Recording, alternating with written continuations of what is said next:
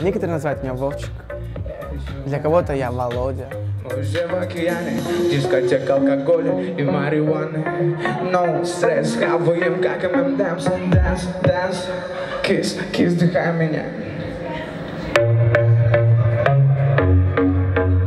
Ну, мне больше петь получается, чем читать. Музыка вообще замечательная, диджей Vortex вообще красавчик. Тут атмосфера такая более, ну, не чиллаута, такая вот.